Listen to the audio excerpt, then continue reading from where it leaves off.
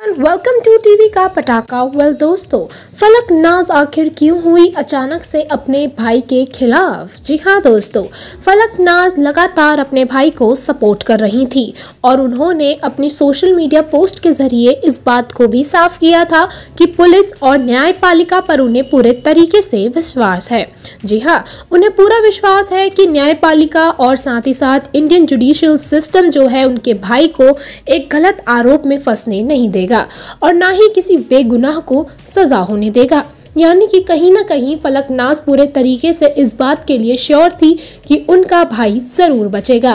लेकिन दोस्तों, अचानक से फलकनाज का नया स्टेटमेंट सामने आया, जिसमें फलक नाज ने अपने स्टेटमेंट को बदला और ये कहा कि जो भी इस हादसे के लिए जिम्मेदार होगा, उसे हम ज़रूर सज़ा दिलाएँगे।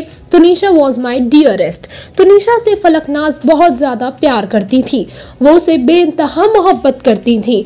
वो सच में उनकी लाडली थी। और ऐसे में हम सबने देखा कि जब अंतिम संस्कार के दौरान फलक नाज पहुँची तो तुनिशा शर्मा के शव को देखकर वो खुद को नहीं रोक पाई। वो लगातार बुरे तरीके से रो रही थी फूट फूट कर आँसू बहा रही थी और उन्हें संभाल पाना बहुत मुश्किल हो रहा था। लेकिन ऐसे में सवाल खड़ा होता है कि एक तरफ़ जहाँ गुनेगार खुद यहाँ उनका भाई है तो वहीं दूसरी तरफ़ आखिर अचानक से जहाँ पहले वो अपने भाई को बेगुनाह कह रही थी तो आखिर अचानक से फलकनास का स्टेटमेंट कैसे बदल गया? फलकनाज ने स्टेटमेंट बदलकर अचानक ऐसा क्यों कहा कि तुनिशा शर्मा उनके लिए बहुत ही ज़्यादा खास थी और इन सब के लिए जो भी जिम्मेदार होगा, उसे हम सज़ा ज़रूर दिलाएँगे।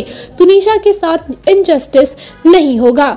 दोस्तों, इससे साफ़ होता है कि कहीं ना कहीं फलकनाज को पता चला है कि उनका भाई कितना जिम्मेदार था। आप लोगों को क्या लगता है?